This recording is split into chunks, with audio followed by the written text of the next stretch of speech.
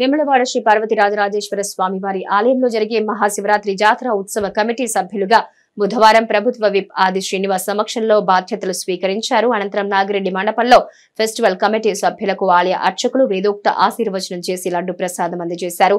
నూతనంగా బాధ్యతలు చేపట్టిన ఉత్సవ కమిటీ సభ్యులు మాట్లాడుతూ మంత్రులు శ్రీధర్బాబు పొన్నం ప్రభాకర్ కొండ సురేఖ ప్రభుత్వ విప్ ఆది శ్రీనివాసులకు ప్రత్యేక ధన్యవాదాలు తెలిపారు.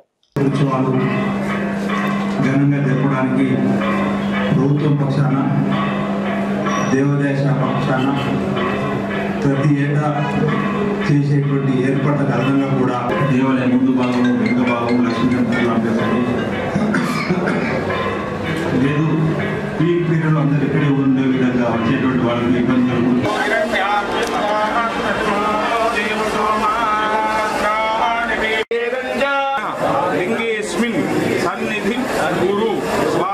స్వామి పార్వతి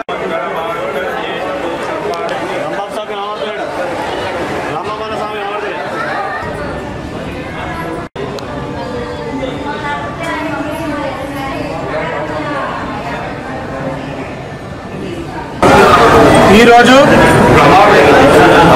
తెలంగాణనే అతిపెద్ద దేవాలయం శ్రీ నారాయణేశ్వర స్వామి దేవాలయంలో ఈరోజు ఫెస్టివల్ కమిటీ ఇరవై మూడు మందితోని ఇవాళ పెద్దలు కాన్ఫరెన్స్ ఎమ్మెల్యే గారు మరియు మంత్రి గారు పెద్దలు రేవంత్ రెడ్డి గారు ముఖ్యమంత్రి రేవంత్ రెడ్డి గారు ఆధ్వర్యంలో ఇలా ఫెస్టివల్ కమిటీ మందితో ఇవాళ వేయడం జరిగింది. మరియు అలాగే అధికారులతో కూడా మేము ఇంతకుముందే మాట్లాడడం జరిగింది.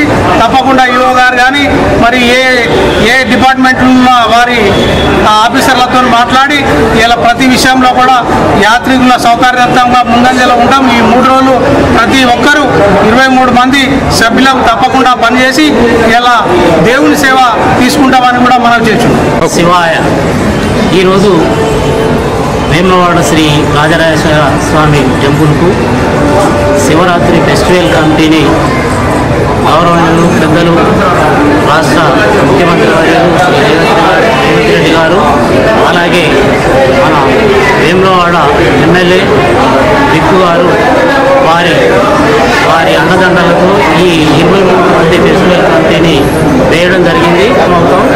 ఎందుకంటే వచ్చే భక్తులకు ఎలాంటి అసౌకర్యం అసౌకర్యం కలవకుండా అధికారులతోని కోఆర్డినేషన్ చేసుకుంటూ ఈ మూడు రోజులు పనిచేస్తామని ఈ సందర్భంగా కోరుకుంటూ ఓం నమ శివాయ. నిన్నటి రోజున వేములవాడ రాజస్వామి దేవస్థానం తెలంగాణలో పెద్ద టెంపుల్. దీనికి ఉత్సవ కమిటీగా ఇరవై మూడు మందితోని ఏర్పాటు చేయడం జరిగింది. ఇరవై మూడు మందికి అవకాశం ఇచ్చిన పెద్దలకు ఆశీర్ణ గారికి ఆయనకు మేము రుణపడి ఉంటాం. అదేవిధంగా పొన్నం పవకరణ తాగునీటికైనా ఏ ఇబ్బంది లేకుండా వారి ప్రజలు యాత్రికులకు సేవలో ఉండి వారిని వారి మెప్పు పొందే విధంగా మేము పనిచేస్తామని తెలియజేస్తున్నాం.